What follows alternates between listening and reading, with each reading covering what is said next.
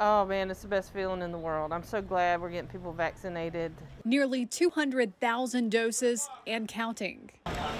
That's a lot of shots in arms. Five mass vaccination sites and several pop up locations across Jefferson County. When we uh, started our vaccine sites, one of the things we knew is that we were going to have to figure out a way to ma- make vaccine convenient and accessible for everybody. In these communities, changing lives one shot at a time. We've had people dancing, screaming, yelling, just so excited. I had one woman, I actually thought something was wrong with her.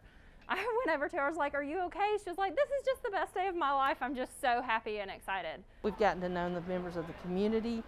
Uh, we feel like we're engaged and immersed in the community, and it's just really been a pleasure to do that. Each site required extensive planning and devoted staff and volunteers. They're here every day in the rain, if it's snowing, if it's cold, if it's hot, they don't care. They're out here making it happen. So I'm just so proud of this team. Now they need you. We've kind of shifted gears from thinking about controlling this mass uh, demand for vaccine into thinking about okay, we've got to look at the people who are left who hasn't been vaccinated yet, and why not? Is it a barrier? Is it something in access to us? Is it, you know, some lack of information that they have? You know, what is that barrier? And we're working on addressing those barriers to make sure that we can get people vaccinated.